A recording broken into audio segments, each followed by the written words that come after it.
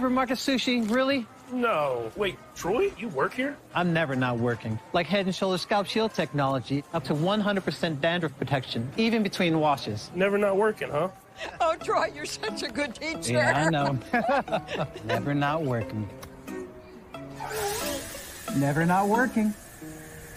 Never ever not working. Are you serious? Never not working. Dandruff protection that's never not working. Head and Shoulders Scalp Shield technology. It's never too early to plant the seed, to share the tradition, and instill a sense of pride in your HBCU with your little ones. HBCU Pride and Joy Children's Boutique helps you share your school spirit with a wide selection of adorable kids apparel and accessories officially licensed from your favorite HBCU. Visit HBCUPrideJoy.com and follow us on all social media at HBCU Pride Joy on Facebook and Twitter.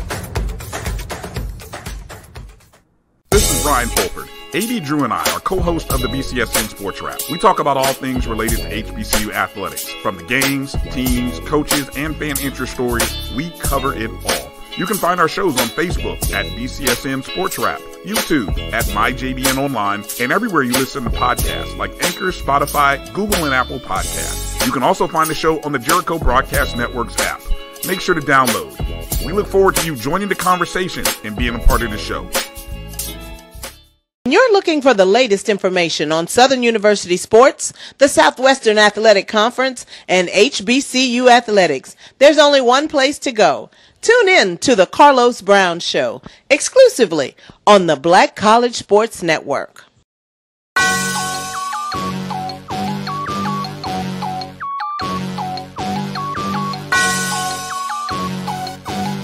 Yeah. I love my HBCU. And boy, I love it, love it. I love it, love it. I love my HBCU. And man, I hope my team they won one. Yeah. I hope my team they won one. Mm, yeah. Man. I hope my team they won mm, one. Yeah. I hope my team they won one. Mm, yeah. I tune into the HBCU Sports Lab to see if my team won or lost. If they lost, I'm quiet as a mouse. But if they won, keep tab. Uh, I'ma do the dab, yeah. Dr. Cavil, he know what he be talking about. Talking Mike and Charles, they know what they be talking about. They compress the analytic data with the hip hop. If you know them like I know them, they gon' tell you if your team, if they won or lost, and who the ball, who the ball. So listen to Professor, uh, yes sir, yes, and pay attention, cause he gonna teach a lesson. This is Dr. Cavil, and I'm back in the building, uh, better known as I should say, back in the baseball park. We are live here for the SWAC 2020-23 baseball tournament, the last event of this academic athletic year, 2022-2023. Shout out to all the graduates, recent graduates out there, both high school graduates that are planning to attend HBCUs and those HBCU graduates that have uh, come across at this time. Let's see if we can give you a little sneak peek view of uh, the FAMU uh, as they're meeting at the mine, mound, or meeting of the mine, if you would. Uh, currently, FAMU, for those that are watching this, know this. Uh, FAMU is up 5-3 over Alabama State. Uh, this is a one versus three matchup in the winner bracket with both teams winning yesterday. FAMU over Prairie View. Excuse me, Alabama State over Prairie View and FAMU over FAMU beat Texas Southern. Texas Southern, that's right. Because Texas Southern, uh, I don't know. Texas, there's so many games and so many things going on. Texas Southern and Prairie View faced off in the loser bracket, and Prairie View won that. Uh, before that, TSU had won six out of five, seven out of five games. They're including one that started the year in that uh, classic in Houston there when things got off. Uh, but Prairie View, I guess, winning at the right time, getting in the loser bracket, at least staying home. They weren't part of that two and barbecue like Jackson State as well.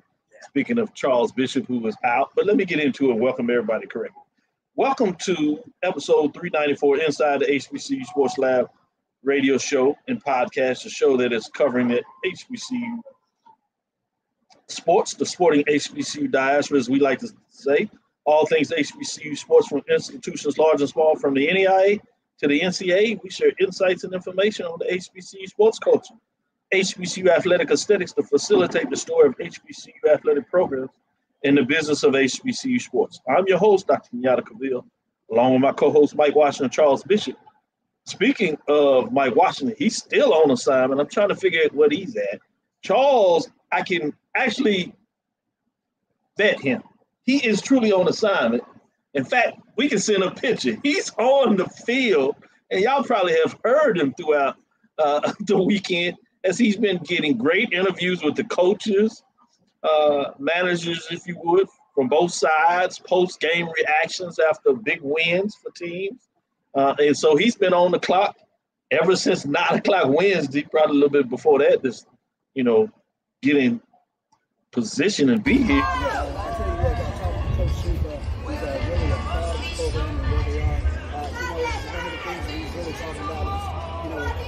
Baseball is real simple. It comes down to pitching, hitting, the defense. You do three of the three, you're going to win. You do two of the three, you got a chance. You know, none of the three, and then there are no post-game interviews. So he really, really enjoys uh, what he's doing with his four-day in that program.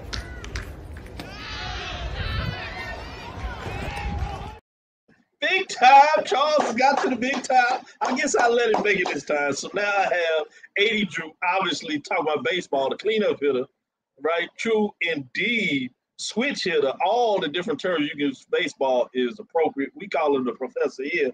He's in the building to help make sure we get it done.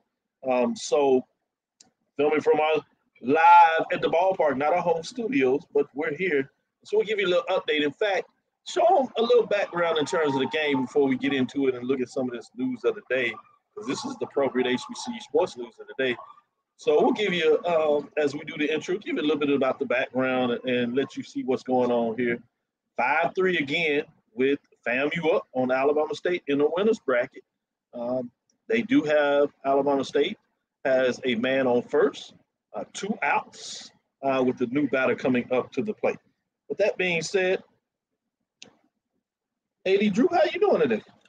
My brother, my brother, my brother, doing doing fine. Glad to be in, glad to be in this place where the Black College Sports Network feels love around HBCU baseball. Man. Just, just glad. No doubt, probably said a lot of love. We've gotten a lot of baseball in Yeah, yeah. The- between the SIAC and the SWAC, man.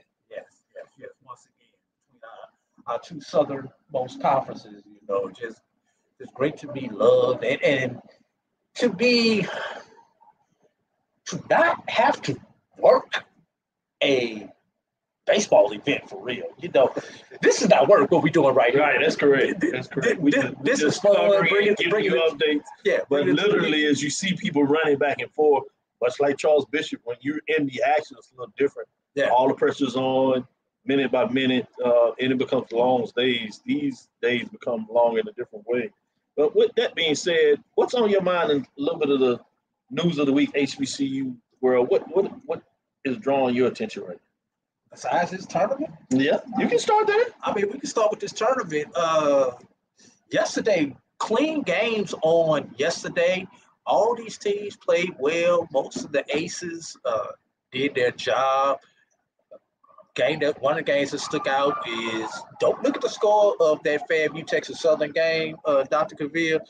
That was a one nothing game after six innings, and FAMU got into Texas Southern's bullpen, and that was that was the difference in the game. And that's really kind of been the story of the tournament thus Right. far.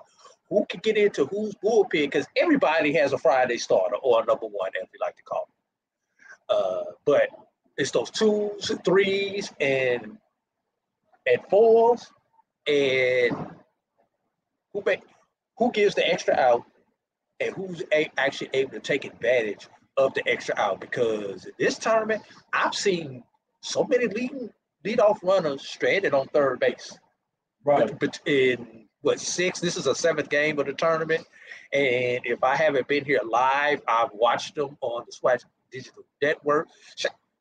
Speaking of SWAC Digital Network, man, Roger Cador.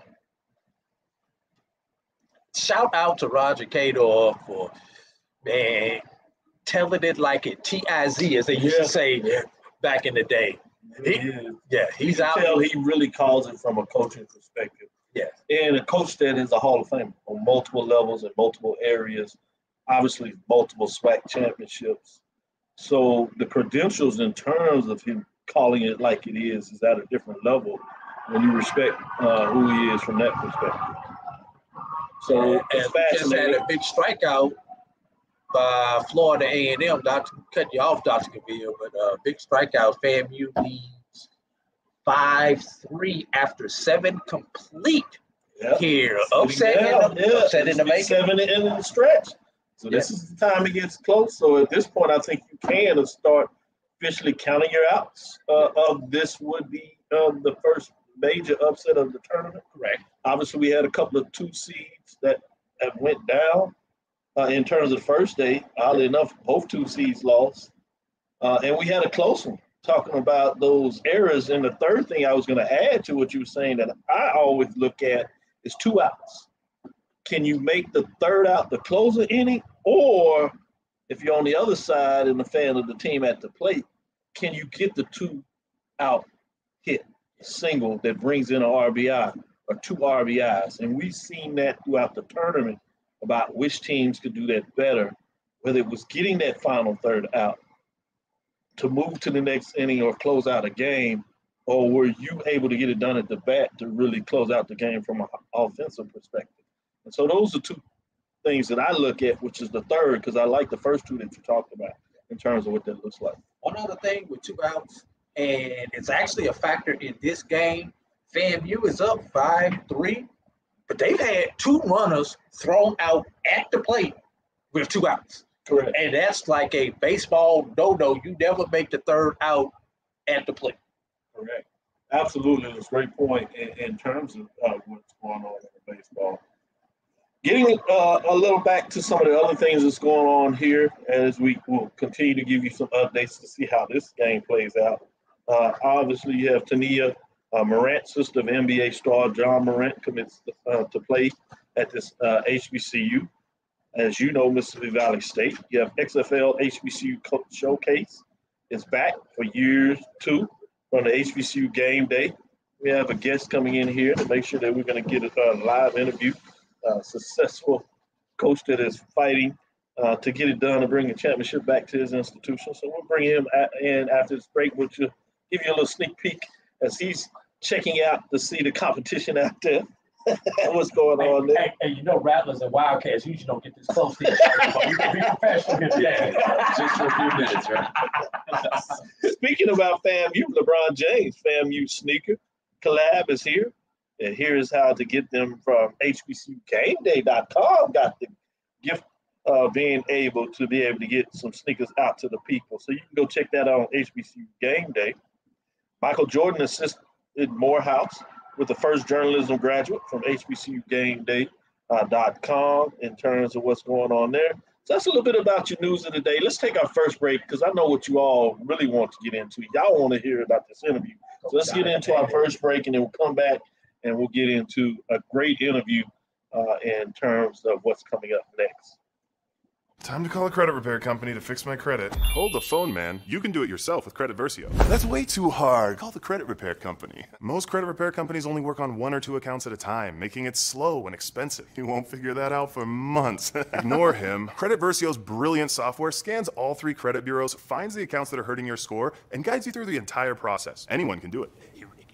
Let's fast forward and see the results. Wow, I fixed my own credit and saved hundreds. You can do this. Visit creditversio.com. T. Madden and Associates is a sophisticated and experienced law firm located in your neighborhood. We're turning injury to cash. T. Madden and Associates obtained almost $2 million for my injury. They turned my injury to cash. Now, we can't guarantee how much your injury is worth, but we've recovered millions for our clients. Call T. Madden and Associates at 833 PAID 123. That's 833 PAID 123. Since 2002, Empowerment Resources Inc., a nonprofit organization, has empowered more than 1,500 youth and adults in Duval and surrounding counties. Through its programs, Journey into Womanhood, Girls Mentoring, Life Skills for Teens, and parenting education coaching. To get involved with programs, volunteer, or donate, visit www.empowermentresourcesinc.org. Follow us on social media, facebook.com forward slash empowerment.resources and instagram.com forward slash empowerment JAX. Thank you guys for what you do for HBCU athletics. This is a fantastic avenue for, for, for all of us. This is our ESPN, so we, we, we, we love what you guys do. Brian, AD, Roy, all you guys at BCSN. We really appreciate what it is that you guys, you guys do for us.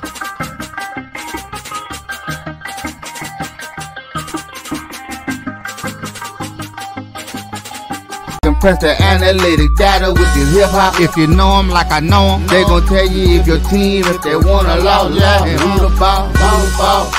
So listen to Professor, uh, yes sir, yes, and pay attention, cause he gon' teach a lesson. This is Dr. Vils on Inside the HBC Sports Lab. As we bring you back before we get in the interview, we wanted to give you a little update here for those keeping up. Stay tuned with us. We'll make sure you uh, keep up with this. Or as they do it, you have two iPads. Go ahead and put one iPad there, turn the volume down, turn up us so we can give you an update because we can give you some thoughts on what's going on at the games here from Coach Hernandez, who has some own proud and big news of himself. You know, as a professor, you know, I get excited when I hear about folks' higher education. Uh, welcome to the show, Coach. Let me do that first. Thank you, Dr. Bill. I appreciate everything you guys do and allowing me to spend some time with you guys here while we're enjoying a beautiful uh, game here at the ballpark here at Georgia Tech, where you got two really good teams getting after it that we all know too much about. exactly. Yeah. And they come from that side of the of the division, Yeah. so you really know uh, quite a bit about them. And I appreciate that. Um, as you know, we cover baseball, and we're going to continue to make sure that baseball gets its time in the shine, and it fits well for us. This is in the spring. Uh, you know, we get through with basketball, men's and women's, coming out of that winter. Give a little bit of touch. Everybody wants to do a little bit of spring football, but then we get into it and with the only HBCU conference uh, that still has baseball, as MEAC had four teams and Ags, they play in the Northeastern Conference, familiar with some baseball in the MEAC uh, before you trans- transition over to the SWAC. Um, you provided me with some information in terms of how your team was going, because I'm always surprised to say, but don't come in. There were no injuries, a couple of losses sit up there, and you were saying, hey, we'll, we'll be all right. Yeah. So talk a little bit how you had to kind of go through this season. It's 30 games. It's a lot of games play, up and down. Yeah, I mean, uh, it started off good for us, and then we kind of hit the injury bug, you know, in April. Uh, but it's we faced a little adversity, you know, and, and that's okay, right? Because at the end of the day, It's like we have to be, yeah, it's baseball, but we're trying to teach these young men, you know, how to handle adversity in life as well.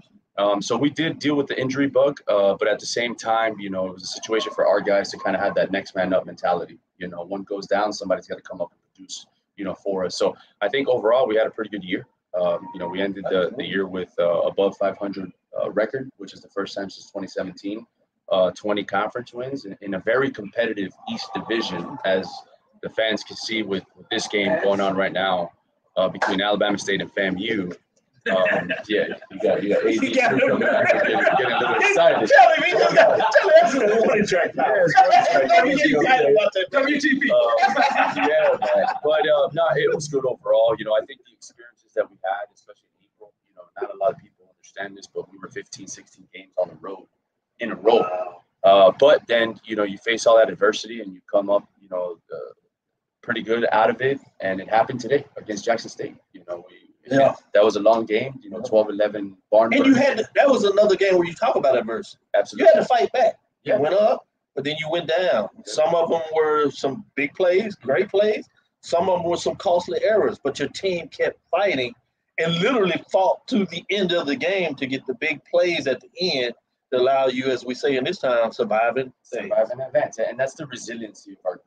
You know, we had a couple of walk-off wins that we've had throughout the course of the year, but it seems like, you know, the East Division gets us ready for the SWAC conference tournament, in, in my opinion. You know, not to take sense. nothing away from the West, but it's such a, a dogfight every time we play against Alabama State, FAMU, Jackson State, a much improved Mississippi Valley program um, and Alabama A&M. So it's a dogfight every time we get together, and I think that those experiences lend themselves to you know us being able to survive and advance and to live in. What do you attribute some of that. You know, I, I, I think the rivalries uh, are natural in some of them, but then you have just some uh, over the years that you played close games, mile biters, that you've added some rivalries pretty quickly with the transition of conference. Would that be true, or you see something else that attributes? Uh, I, I think that that's true, but I also think that it speaks to the volumes of the recruiting of Yeah. the student athletes with not only the coaches in the coaches. East, but in the West Division as well. You know, those guys do a phenomenal job. We know Southern when it comes to tournament time.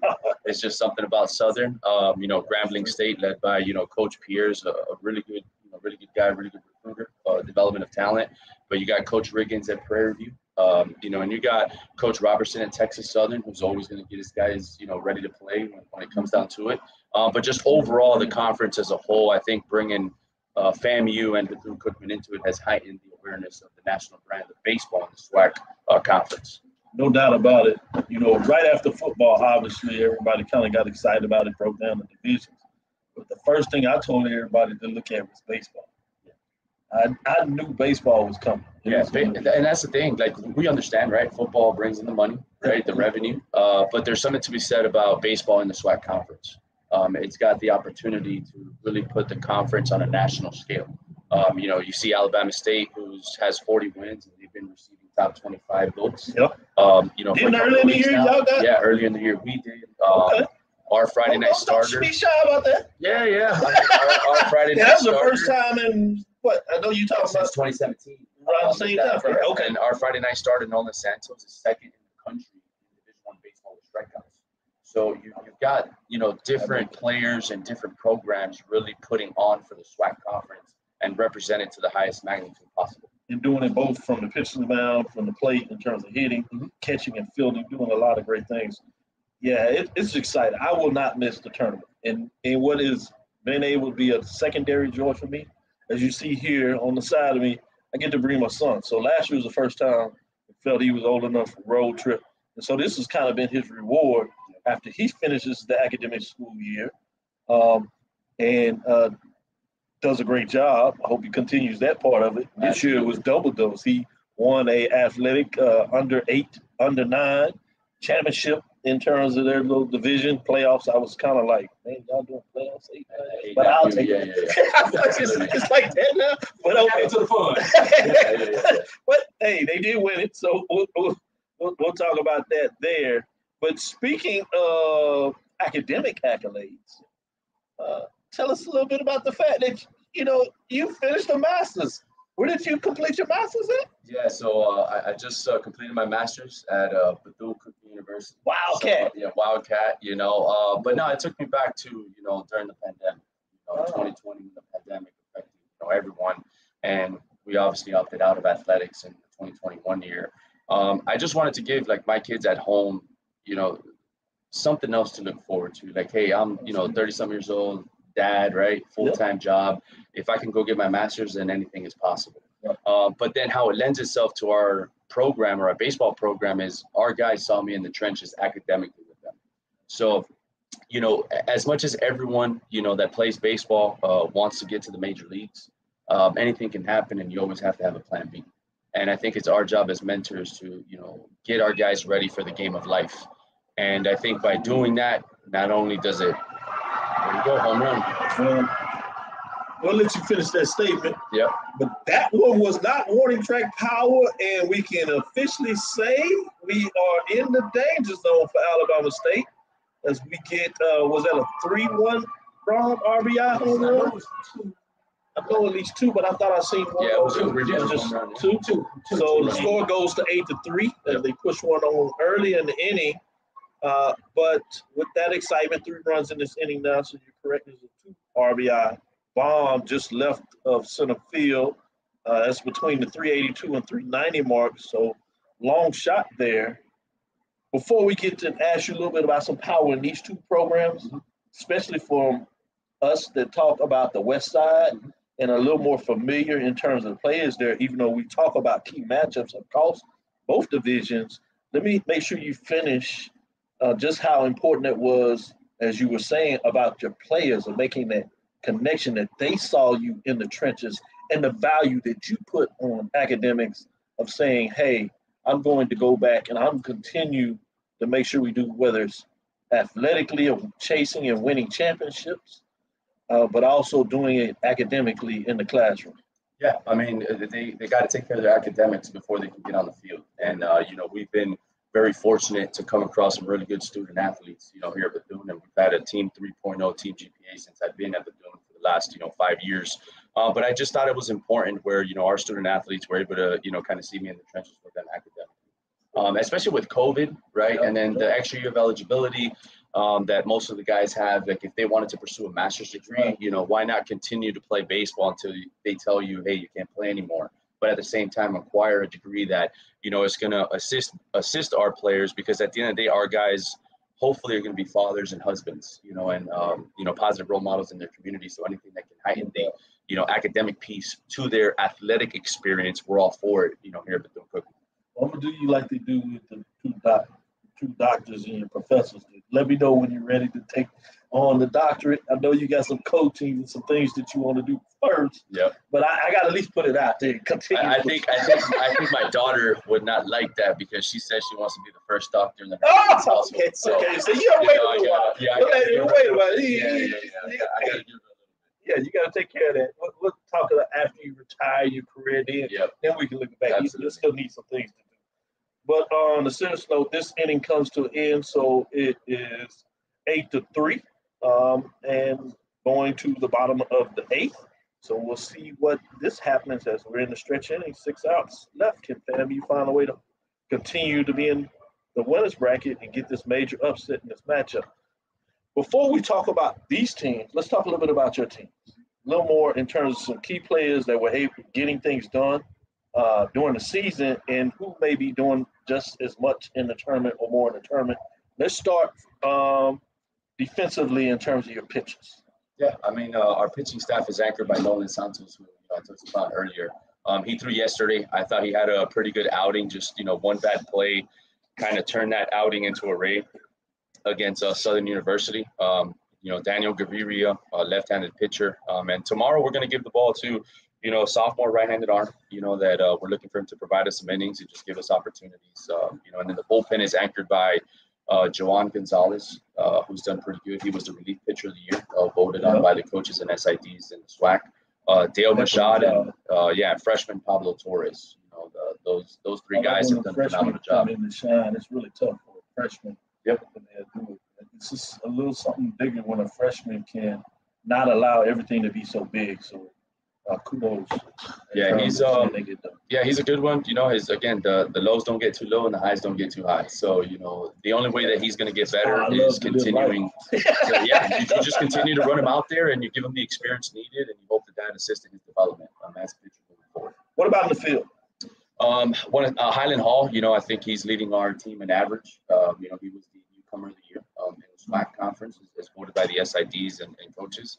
Um, you know, he starts at right field for us. Uh, Garrett Chun, who's a junior college transfer from FSCJ, who's a participant at the Division two College World Series last year in the junior college program that, that he was at.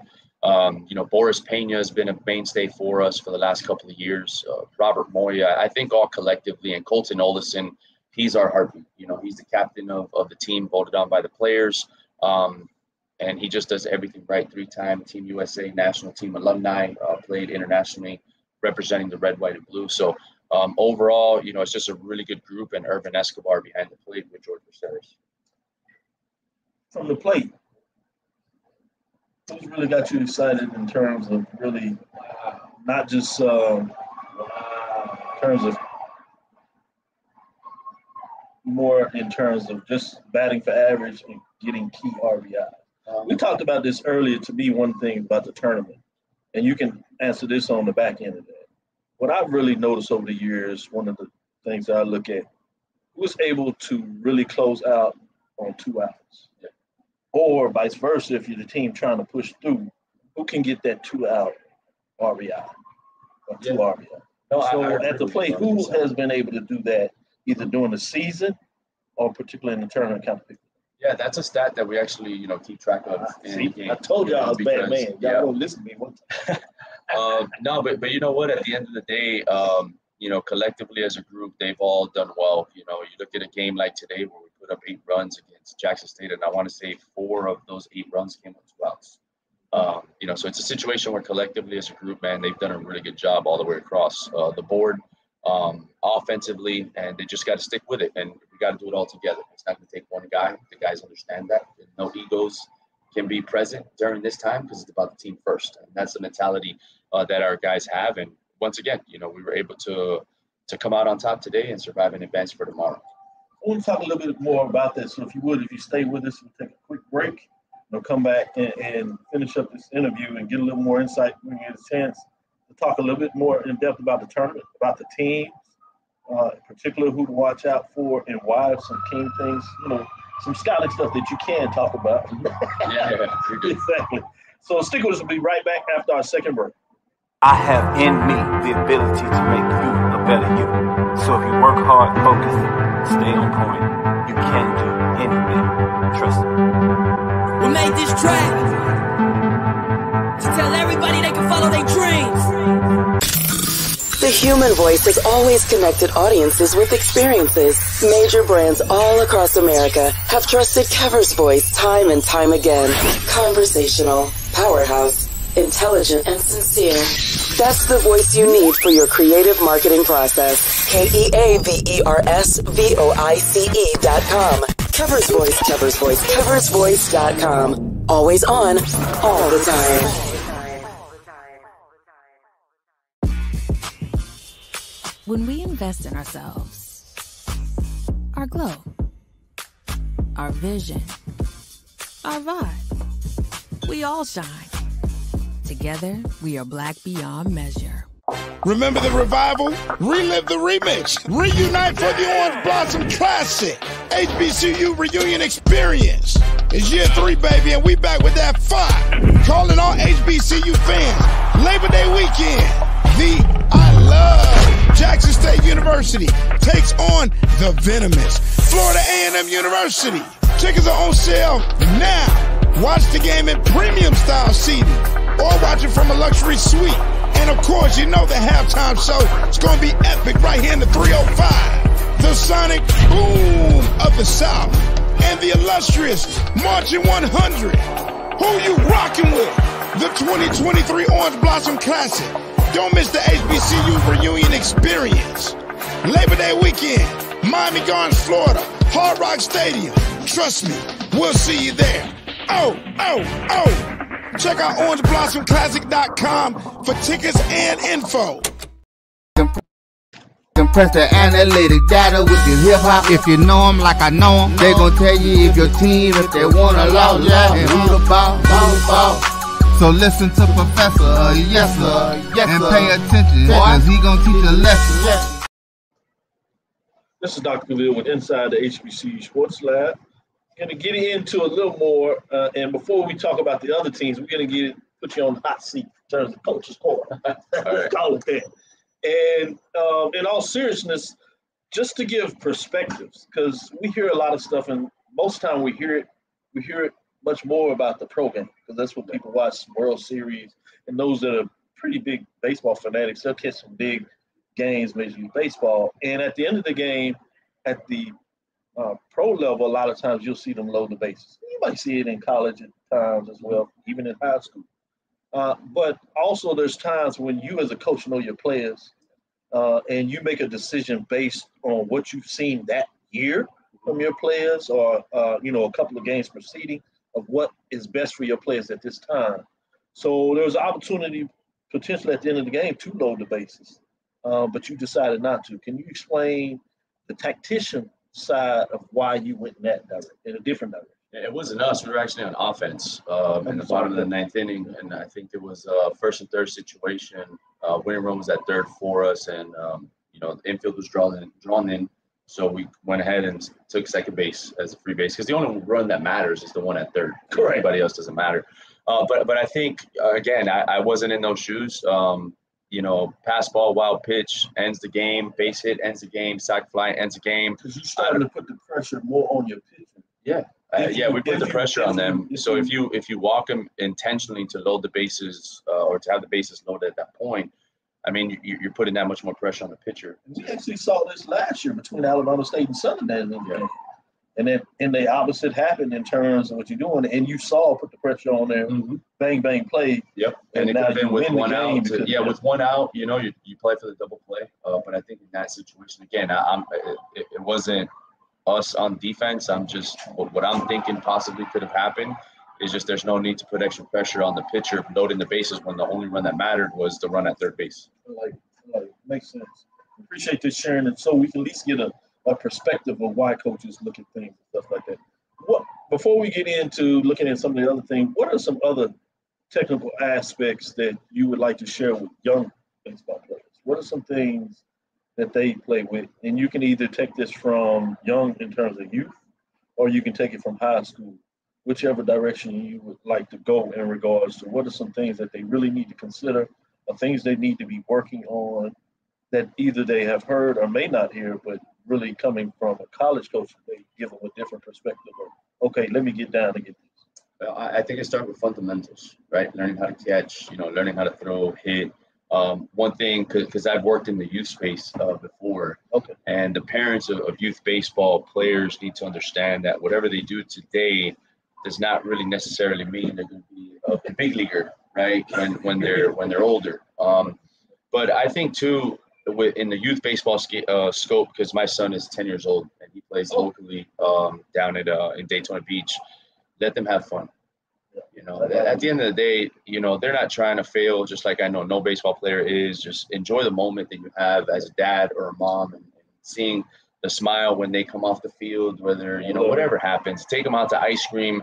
You want them to enjoy the game because the moment that they get that uh, sour taste in their mouth, then the, the, the game doesn't become a game anymore, right? They, they're like, oh, I don't like baseball because my parents are doing X, Y, and Z. You know, just have it become an enjoyable experience for the youth of today so they can be on the field in the future representing a SWAC baseball program. Um, that, that I think is something that I think the parents need to understand is just let it be enjoyable. In school. Picking up right there, in terms of minorities playing baseball, um, I have a concern that I see players leaving away from baseball, and a lot more, uh, particularly in middle school, particularly African Americans, blacks. You see that uh, leaving baseball in regards to in middle school. To me, there's not really many programs, especially in urban cities. You don't see many middle school programs, right? So unless you're having good youth clinics uh, in whatever area you are to allow them to continue to play, get better, and have fun at it. Most important, as you said, you start to trickle them off, and a lot of times they're going to other sports because they still want to be active and playing. So now they move into football, they move into basketball. Up north and mid America, you're starting to see me move into lacrosse. Lacrosse, yeah. I I think too, a lot has Speaking to do. of Florida, yeah, a, a you know. lot has to do, I think, also with the Soccer scholarship structure uh, within the NCAA. You know, in baseball, we, we're not a head count sport. It's equivalency 11.7 scholarships spread across 27 student athletes. Where I get it, you know, tuition, fees, books, it's, it's expensive. You know, where if you go to football and basketball, you can get a full scholarship and you take care of your academics playing that sport. Um, I think too, travel baseball is expensive. It's gotten expensive, you know. So you have to pick and choose of okay, am I going to spend two or three months in the summer, right, playing all these tournaments and trying to get seen by college coaches, or I don't spend tens of thousands of dollars and I can go play basketball, football, perfect that craft at an open park where you don't need a field, you don't And need the lights chances, equipment. If I can land a school scholarship, it's more likely to be a full scholarship. Absolutely. Or even a more of a partial scholarship is going to be more than what you get More in than what you can baseball, get in baseball, when you can only yeah. do eleven point seven. Yeah, one thing with my experience with coaching, you know, college baseball is, I mean, there's no such thing as a free ride in college baseball. If, if someone says I got a free ride, I mean, that's a combination of academics, athletics, financial aid. You know, those are things that come into play um, when it comes to attending an institution and having an opportunity to play at the collegiate level, baseball wise. So, you know, again, it, it comes down to the financial aspect of it. Is economically feasible, you know, for X, Y, and Z student to get that opportunity? Um, and and those decisions are within the realm of the parents themselves and, and the student athlete that they do have. So I can see why, uh, you know, student athletes are shying away from baseball uh, because of the resources um, and how expensive it is. You go to Dick's Sporting Goods, I will. a bat is yeah, three, four hundred bucks. A glove is another hundred. I mean, you're spending almost close to a thousand dollars before you even step foot on a field that you have to rent at a local park. Right. So the financial piece to it is is huge, no doubt. Point. Well, we closed out the eighth inning, and uh, you have a 9-4 score. You did get uh, Alabama State able to put one across the board, but uh, FAMU was able to kind of limit the damage there, so they're still leading in this matchup, eight to four, going into the top of the ninth. Should be interesting to close it here. So, since we're into this game, talk a little bit about more in depth, if you would, in terms of the Eastern Division, particularly with let's start with FAMU. What do they bring to the table? We already know that matchup when they go head to head coming to the campus is already special in terms of when they get it on and get it together. Really, in any sport, but baseball really excites me uh, when I see those matchups. But talk a little bit about FAMU. They're a good team. You know, fundamentally they're sound. Um, offensively, I know that they're capable of pulling up runs like how they are today against a really good pitching staff at Alabama State. Um, one of their arms, Hunter Beats, uh, he started the first game of the tournament. He's really good. Should be a pro prospect. Um, you know, at the end of the year, um, catching wise, they have a really good catcher in Ty Hanchi um, up the middle. Uh, you know, Niles does a really good job for them. Uh, but just overall, really good, you know, solid team. You know, um, Jamey Shouppe does a very good job with his program, and uh, we've been facing, you know, FAMU since I've been at Bethune for the last two or three years because of pandemic and opting out of 21. And it's always a competitive scene, um, you know, when we're playing the Wildcats, like I mentioned earlier, while I have AD Drew looking over my shoulder. so I, I've seen the Prairie View, uh, Texas Southern matchup, the Southern Grambling matchup, Jackson State, Alcorn State. And Echoes. Paint a little picture uh, when FAMU comes down to Daytona uh, for that matchup? What, what is the scene in terms of the fans? What are they on the fence? What, is, what does it look like? Yeah, how's it? Yeah, I mean, it's, it's uh, I can tell you that I'm just glad I'm inside the field. You know? I'll, tell, I'll tell you that much. I'm I'm glad I'm, I'm in the dugout. I don't have to be out there for that. Uh, no, but you know, it's it's a it's a really good rivalry. You know, we, we obviously have respect amongst each other. Yeah, you know, as uh, you know, professionals, uh, leading young men, doing what we need to do. But it, it's competitive. Um, I want to say we took uh, two out of three at home when they came down, and they I think they won Friday night on a two-run uh, home run in the eighth inning by Joseph Perini, dead center. Um, and then we took care of business Saturday, Sunday, and um, even when we went down to Tallahassee, you know, for, for for that series, we took two out of three as well. Um, but but it's always competitive. Anything can happen. Like you can't just say walk into it, say, all right, I got this in the bag. I mean, it's going to be a gauntlet. I mean, that Sunday game in Tallahassee a couple of weeks ago, we were down three to one in the ninth, and we came back and you know tied it, and then we eventually got walked off. But that just speaks to the competitiveness uh, between both programs when they play against each other. Give me uh, a little report on Alabama State.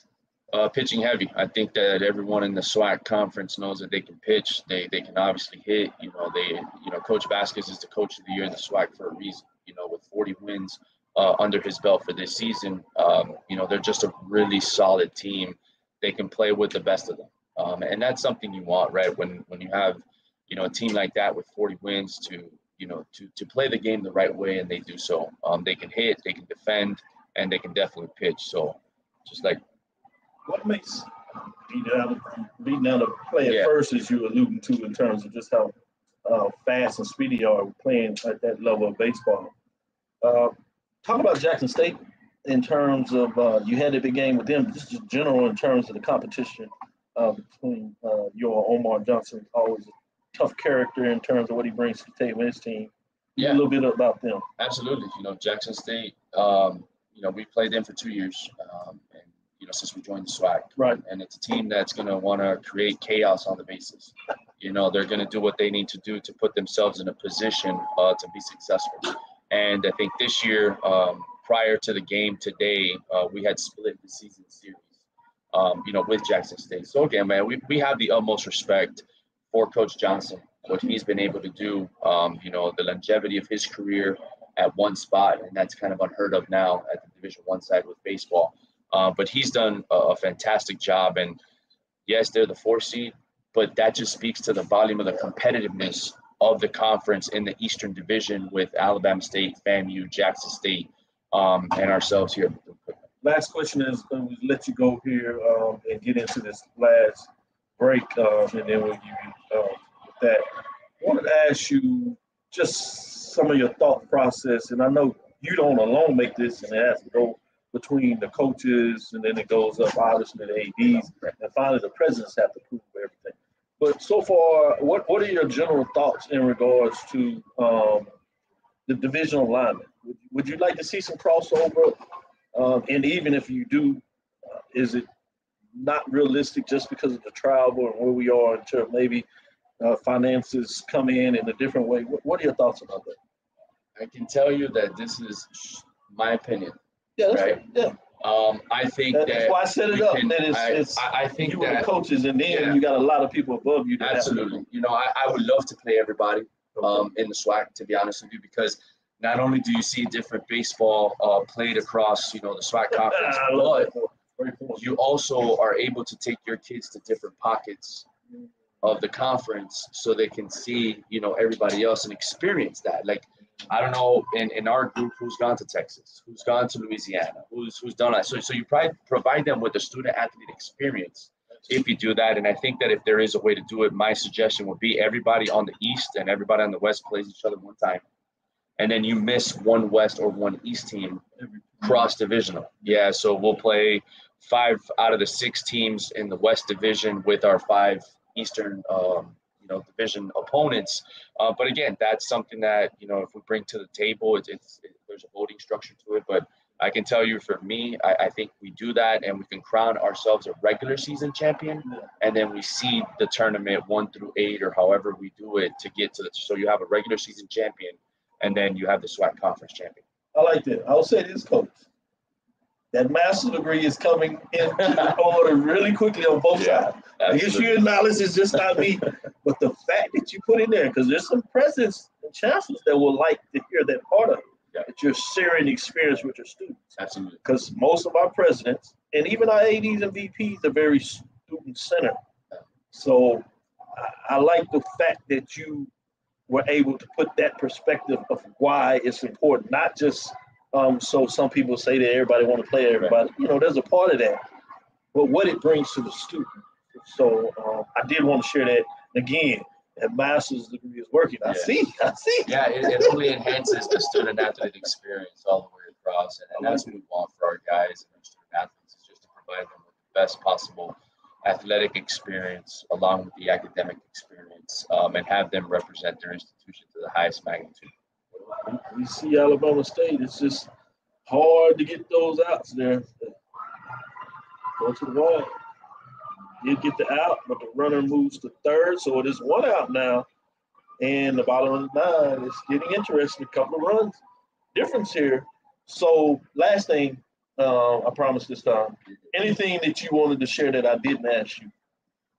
No, I, I think that if uh, any of your viewers are here in Atlanta, uh, come out and support, you know, the SWAC baseball tournament. You know, at the end of the day, you are supporting the SWAC, but most importantly, you know, you're supporting the student athletes who represent our beloved institutions, um, you know, this week. So, you know, if you will go ahead and come out and, and see SWAC baseball, the same support we give football and basketball and all these sports, you know, baseball deserves the same, you know, support all the way through. So, um, if you are in Atlanta, um, come by. If not, catch it on the SWAC Digital Network on YouTube uh, to head up the, the viewership. And, you know, thanks again for everything that, that you guys do in the live. I appreciate it. And um, anything you need, I'm phone call away. I see it and I know it. I know that's true. He's not just saying that. With that, coach, I want to say again, congratulations seriously on the uh, academic achievement, the Masters. Congratulations on a great season, and I know you're going to do everything this tournament to try to finish off with a little more magic touch. And I wish you well during this run. Thank We'll be here to watch it. That's for sure and tell the story. I appreciate it. Thank again, you very much. Yep. This is Dr. Ville inside the HBCU Sports Lab. We'll be right back after this last break and give you our last 15 minute segment. I got a surprise for you. We got uh, Mr. Deuce wants to give a little update, his thoughts in terms of commentary on the tournament thus far. So we'll make sure he gets a little bit, and then obviously AD Drew wants to get his uh, acknowledgement in. So Stick with us. We'll be right back after this last break. Time to call a credit repair company to fix my credit. Hold the phone, man. You can do it yourself with Credit Versio. That's way too hard. Call the credit repair company. Most credit repair companies only work on one or two accounts at a time, making it slow and expensive. You won't figure that out for months. Ignore him. Credit Versio's brilliant software scans all three credit bureaus, finds the accounts that are hurting your score, and guides you through the entire process. Anyone can do it. Let's fast forward and see the results. Wow, I fixed my own credit and saved hundreds. You can do this. Visit creditversio.com. T. Madden and Associates is a sophisticated and experienced law firm located in your neighborhood. We're turning injury to cash. T. Madden and Associates obtained almost $2 million for my injury. They turned my injury to cash.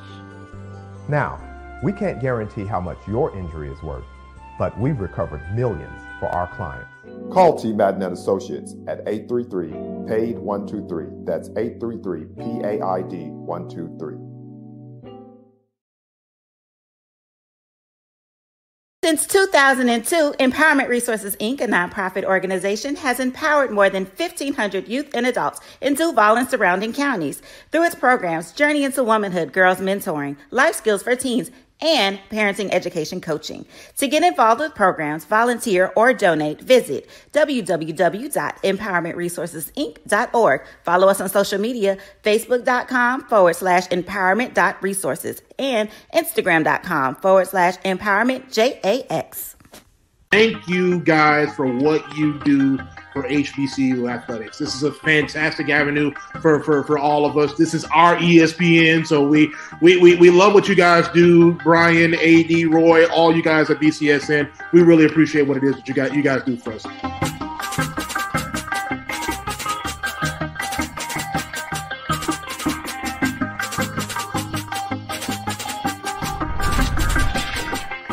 Compress the analytic data with your hip hop. If you know them like I know them, they gon' tell you if your team, if they wanna lose, and who the ball, ball, ball. So listen to Professor, uh, yes sir, yes, and pay attention, cause he gon' teach a lesson. This is Dr. Cavil with Inside the HBCU Sports Lab. This is none other than Deuce, Deuce Cavil. Uh, he won a championship uh, with his team this year. So we're going to give him a chance to talk a little bit about that and make sure he gives you his updates on this tournament like he did last year and, and give you some updates there. Before we do that, Drew, uh, what are your thoughts? Uh, uh, can FAMU find a way to close it out and get it done? Two outs away? Yeah, but it's been even these last three outs for like the last 15 minutes. Like, oh, I mean, it, it was it was eight to three, then eight to four, now it's eight to five with a runner on first base. So you gotta you gotta close it out. And, and the thing is, in terms like this, you want to try to close it out without going back to the pen. I like that. Because Great every arm that you use, you've only got so many pitches in these arms for the, for the weekend. So you want to go through, even though you hope that if you do come with somebody out the pen, they can get it done and that's go ahead and close it out. But you, know, you would think that by this time of the year, So let's go back and what and what has been your thoughts a little more on the tournament this far uh, of some of the big matchups uh, and just in general? Have, I know you talked about um, a little bit of the outs and things of that nature, but just in general in terms of the facility uh, and being in Atlanta, how do you like that part of it thus far? Well, let's let, let's start off with the basics. We in Atlanta. Everybody, parking sucks in Atlanta. We, just just got to get that one, get just got to get that out the way. But actually, uh, there's there's a parking garage right across the street from the stadium. Uh, plenty plenty of space within that garage. Uh, probably, obviously, school is out, so uh, that lends to more space there. There's another garage about a block away from here, so that that actually winds up being one of the positives uh, here. If you've never been here, which this is my first time in this facility, it's a nice, tight, compact facility.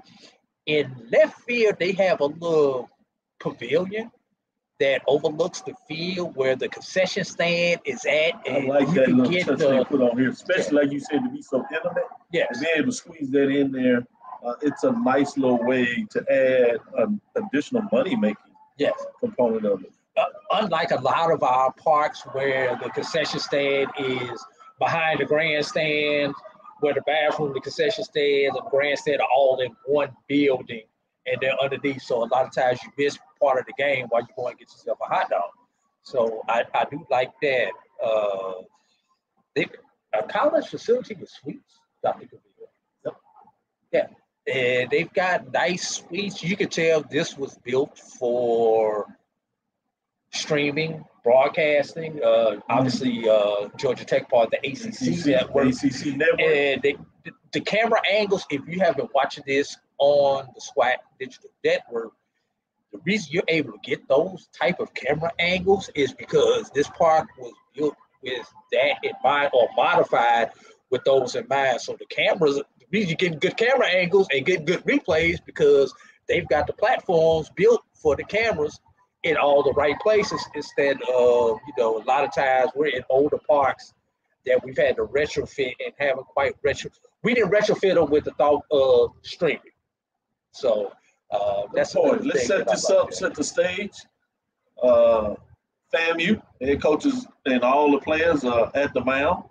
Uh, last guy walk, so you literally have the time run at the plate, just on first and second with one out. Um, so it's interesting how this is setting up one way or the other in regards to the beautiful close of this game. Let me ask and tease a little bit um, before I go to Deuce.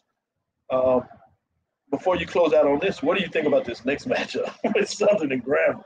This is a classic one for the East, which was fascinating to me because everybody's talking about how strong the East was over the West. Um, and might be the case. Uh, pitching, you've kind of seen it lean that way. Certainly in statistics, you say that, but on the first day, we kind of called it. Uh, we're close to a game off, uh, both in different ways, but the first day was 2 2 split from the West. Yeah, it was. And odd uh, enough, on today, you had basically divisional matchups with everybody playing up, and a couple of them were uh, rivalry games, uh, which will be what we started off with Texas Southern Prairie View and what we're going to end off with Grambling and Southern. The other one were East matchups uh, with Jackson State. Bethune Cookman, as you just heard, Coach Hernandez being able to pull that one out. And quietly, this- in, in in the East. baseball, this FAMU Alabama State is I'm just going to say uh, it's truly a rivalry in terms of these teams have kind of squeezed themselves in terms of finishing at the top one and two the last two years. Uh, and how they played out in the tournament was big last year. Obviously, Bethune Cookman is entering back in that mix, but you're absolutely right. I would say this is the top matchup in terms of just how the teams finish, uh, in terms of rivalry, if you would, in terms of East. So, but what do you think about Grambling and Southern tonight? Grambling Southern should be interesting. The, the thing about Southern is they have at, above average pitching. I wouldn't say it's spectacular pitching, but they find a way to put the ball in play. If you put the ball in play in this game, you've got a chance. So that, that's what it is. And I'm, I'm sorry until that 27th out occurs against the Southern Jaguars, you cannot relax. Well, Alabama State has a big one at the back, 6'2", 195. Hey, Ty Hunt is at the plate. Uh, has had a big uh, game and big bats. This uh, not only this baseball tournament, literally all year, but in terms of this team. So it'd be interesting to see what that looks like. Let me get Deuce on here. He's been patient. Uh, I'm gonna get him in here. You can stay up there. Yep, you stay right there. So, what do you thought about the SWAC tournament this year thus far? I think,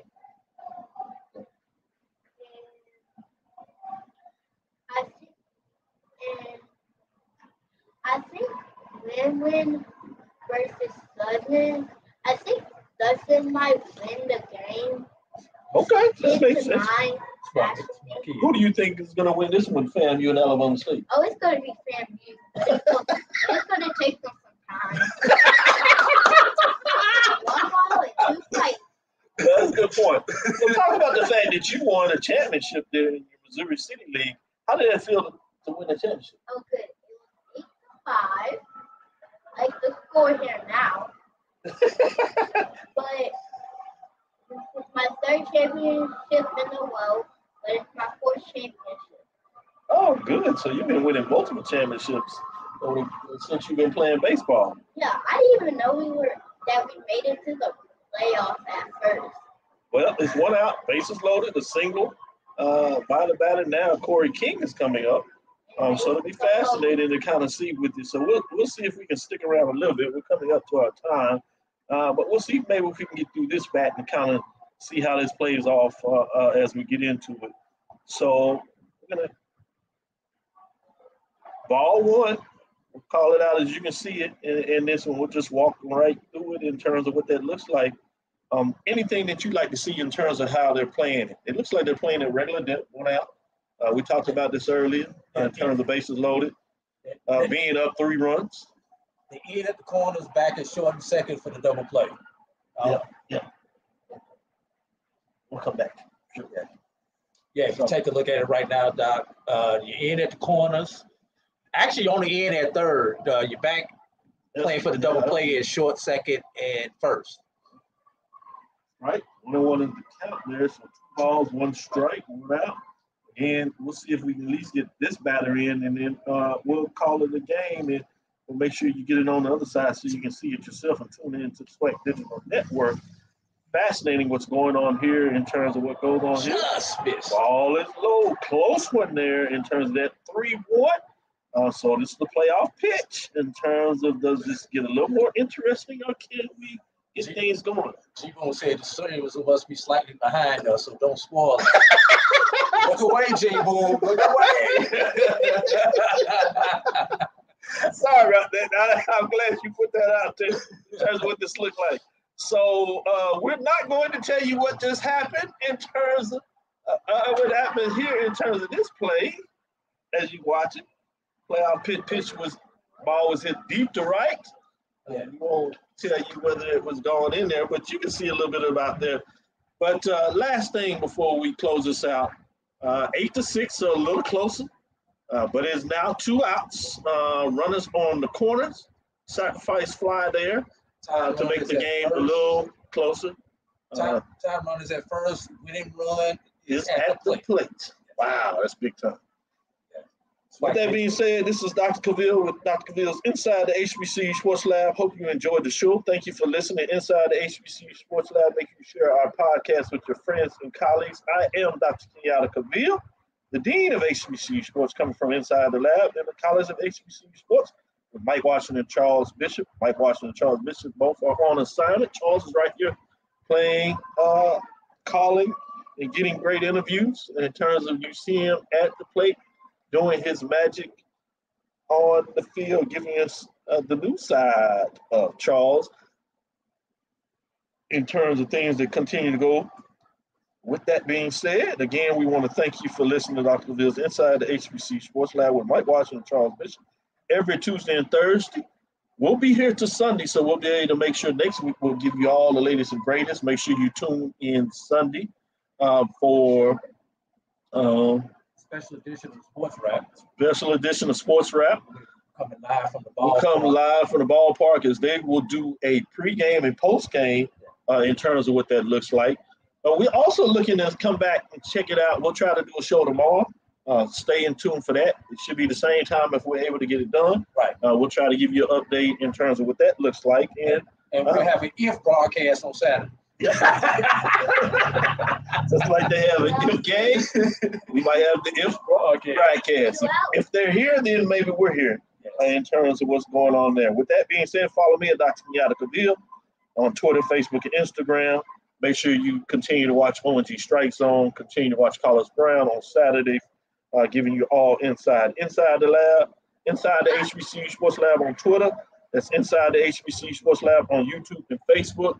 Two, two, two outs as we are trying to get out of it and give you a close up. We'll see if we can hold it on maybe one more pitch. That was, that was the slowest closeout you ever read, Dr. Cavil. I just want you to know that.